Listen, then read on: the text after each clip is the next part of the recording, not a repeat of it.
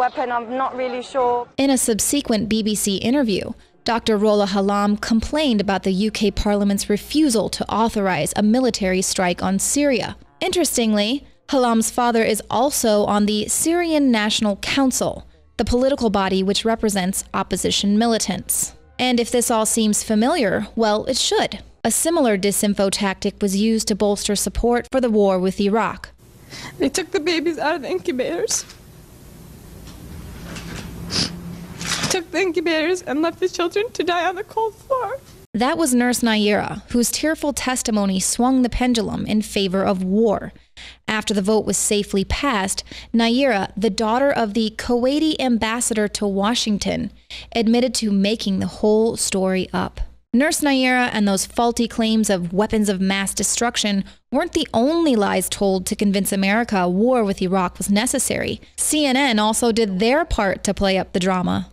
Uh, CNN's Carl Rochelle is, is here with me, just came up. Uh, Carl, I know we can't be very specific given these restrictions, but uh, within those parameters, what did you see? Well, what I saw, I, I didn't see anything hit. I looked very almost straight above us.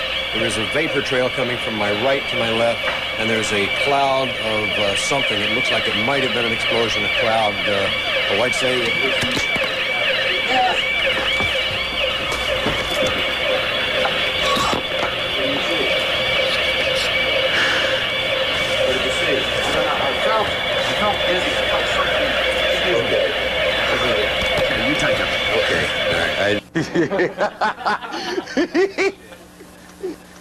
oh, I love this country so much.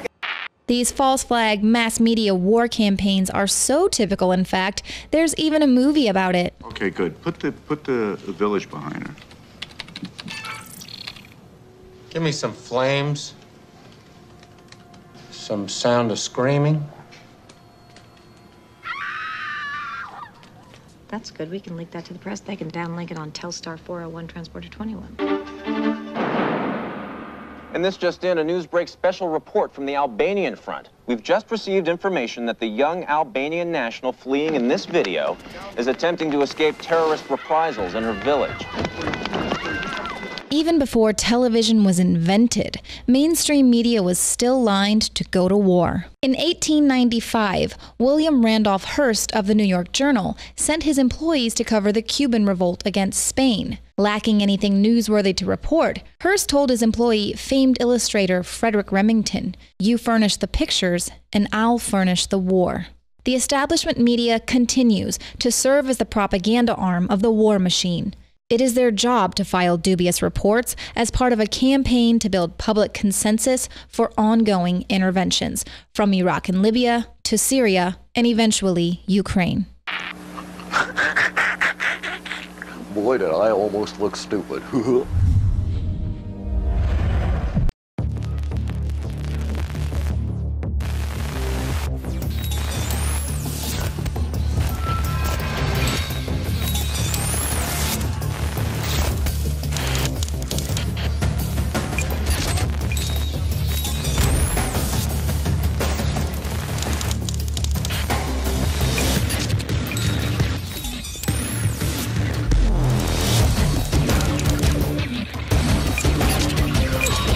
I began to get into iodine a few years ago because it was helping me and my family so much get healthy and detoxify. I believe our research is conclusive. This is the best iodine out there. And I know this for a fact. Nobody else has got iodine based on these pure crystals, ladies and gentlemen. For a limited time, experience the ancient power of Survival Shield X2. I believe our research is conclusive. This is the best iodine out there. Take advantage of this at InfoWarsLife.com.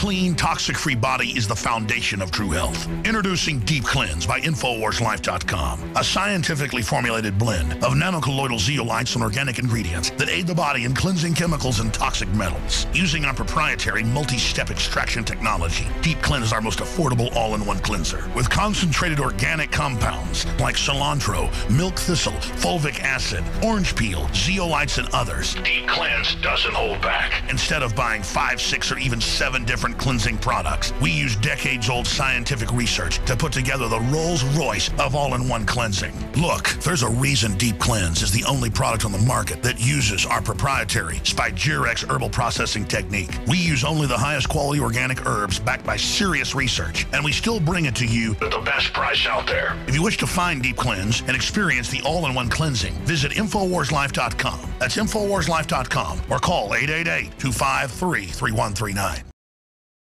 Introducing Secret 12, the new InfoWars Life vitamin B12 formulation. Most forms of vitamin B12 are highly processed and synthetic and could not be properly absorbed by the body. That's why, for real results, so many are having to turn to painful B12 injections, which are known to have higher absorption rates. Now, InfoWarsLife.com is excited to announce that we can bring you our most bioactive, powerful form of B12 that has been developed with our exclusive perfected process. Secret 12 is a binary of nutramedical grade, bioavailable coenzyme forms of B12, methylcobalamin, the same kind used in B12 injections, and adenosylcobalamin. Secret 12 is simply taken by mouth, right on the tongue, and then swallowed. No needles, no injections. Don't take my word for it. Try it for yourself. Discover the secret. Secret 12. Secure your revolutionary Secret 12 formula right now at InfoWarsLife.com or call 888 253 3139. Introducing the first proprietary oxygen-based intestinal cleanser, OxyPowder. Backed by real FDA-approved phase 1, 2, and 3 clinical trials. People are suffering from all kinds of digestive issues these days. All the toxins from the air, the food, the water ultimately ends up in the gut or affects the gut. My main focus was to come up with a remedy for this, something that's safe and effective that anyone can take on a regular basis to keep their intestinal lining clean. My recommendation is to clean your intestines at least two to three times a week to prevent the toxic buildup from going into your bloodstream. Take your health into your own hands and start cleansing your body today with Oxy Powder. Secure your Oxy Powder today at InfoWarsLife.com. That's InfoWarsLife.com. Well, a new Justice Department rule is going to make it harder for the feds to monitor your phones. This is effective immediately. The Justice Department just enacted a new policy that's forcing federal law enforcement officials to get a warrant before they can use the cell phone site simulators, also known as stingrays. Of course, these devices are controversial. They collect massive amounts of metadata from large numbers of phones in a given area. Uh, so this is a huge problem. Now, the Department of Justice reaffirms its commitment to hold itself to the highest standards as it, as it performs its critical work to protect public safety. Um, you know, they say, they're saying that this new policy ensures our protocols for this technology are consistent, well managed, and respectful to individuals' privacy and civil liberties. Ah, oh, freedom. It's so nice. Forgot to mention one major loophole. This does not apply to local and state law enforcement, only federal agencies. Now, it, the policy only applies to domestic investigations by the federal law enforcement agencies that include uh, FBI, Marshal Service, and the DEA. It doesn't cover local or state law enforcement unless they are involved uh, in a joint task force with the federal authorities. So they can go ahead and continue scooping up all of your cell phone data without even disclosing that they are using these stingrays. Now, stingrays uh, trick cell phones into connecting with them. They act like a cell tower and they allow authorities to determine the location of a tracked phone. And in doing so, the equipment also connects with all other phones in the area and it allows investigators to collect information on people that haven't been suspected of a crime. So the, the device can capture your calls, text messages, emails, and other data. And of course, this technology has been adapted widely by local authorities, but they don't even tell you that they are using them. And of course, so you can't use that as a defense in, if you have to take it to court. Now, Let's talk about some other shocking video that has just been released. This is by the Dallas County Sheriff's Office. The video appears to show the moment a man died in the lobby there. Now, surveillance footage shows Joseph Sheldon Hutcheson frantically running inside the Dallas County jail lobby on August 1st, and his brother says the footage proves that deputies are responsible for his brother's death. This guy's up checking his phone. Checking his phone. My brother's no longer a threat to anybody, or that he ever was a threat to anybody. Phone goes back in.